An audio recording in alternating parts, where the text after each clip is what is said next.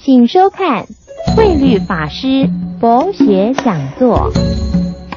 以心传心呢，此为正见。慎勿向外逐境啊，千万不要追求外面的境界，把认把这个境界认为是心，认境为心呢，是认贼为子啊。哎，我们认认这个境界是我们的心呢，是认贼为子啊。但内观不要向外求，唯有贪嗔痴才立这个戒定慧吗？本性空空洞洞，不生不灭，不来不去，本来就没有烦恼，焉有菩提可得呢？所以祖师说：“佛说一切法，为除一切心。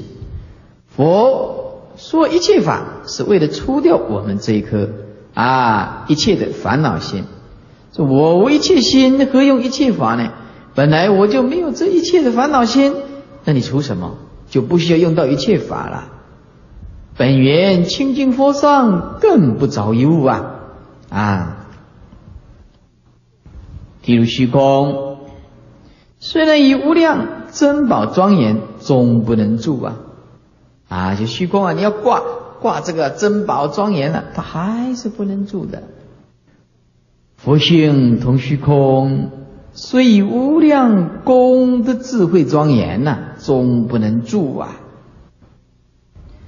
但迷本性转不见了，这个转就是反而，只要我们迷了我们的本性啊，反而看不到本来的面目。啊，所谓心地法门，什么叫做心地法门？万法皆依此心建立啊。欲静即有，无静即无。啊，什么叫做清净心呢？遇到境界，我们随缘处理。虽然随缘处理呢，可是我们还是无心。那么没有境界缘散了呢？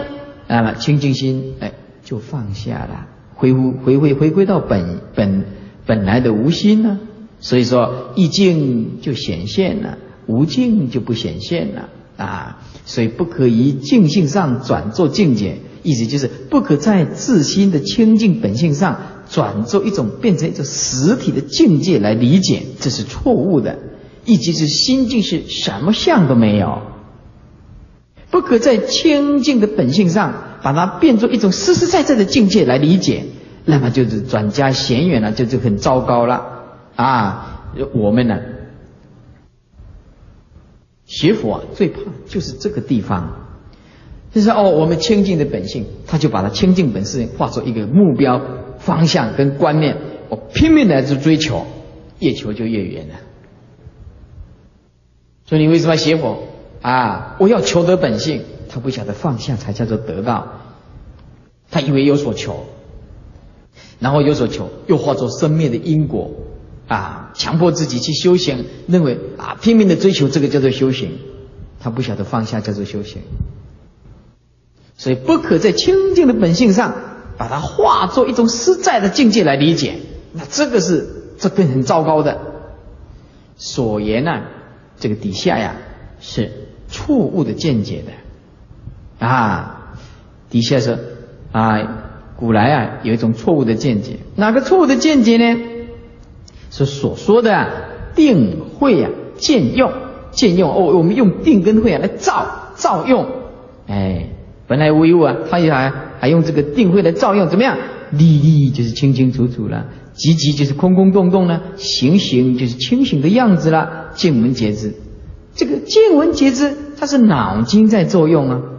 啊，不是我们的本性佛性在作用，佛性是见闻觉知所不能及，他也不离见闻觉知。只要在见闻觉知所建立的，你通通要放下。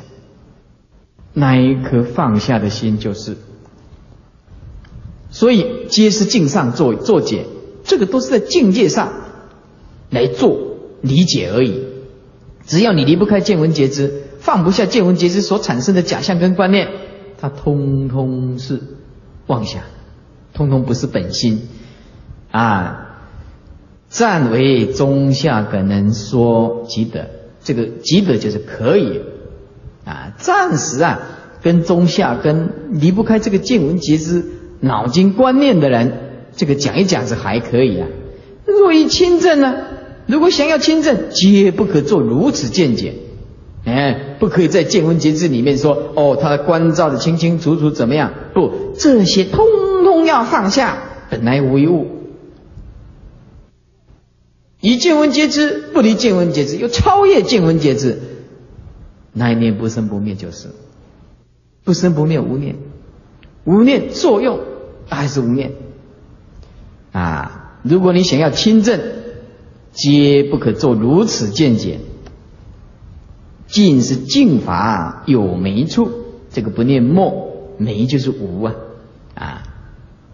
这个都是境界里面的立一切法。不是立有法，就是立无法的地方，就有没处，没就是无啊，哎，莫以有地呀，啊，这只要你的境界上立一个有，立一个无，这个通通是有，哎，通通是有，哎，什么是真正的空呢？就是有上当下就空出，无也是空，绝对有绝对的存在平等，无绝对的存在平等。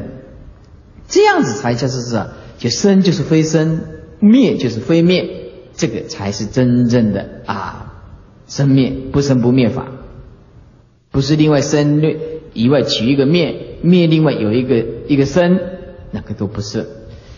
这尽是净法有没处，就是在境界的啊立法上啊，就加一个变成有法，要不然就是无，落入两边。莫于有地，变成沉默、沉自在。有就是境界执着的意思，啊，不是执着有，就是执着无嘛。哎，说但以一切法不做有无见即见法，啊，做有见的话呢，那么就是着相了；做无见呢，就是断灭。所以但一有上不着，就是见法，哎。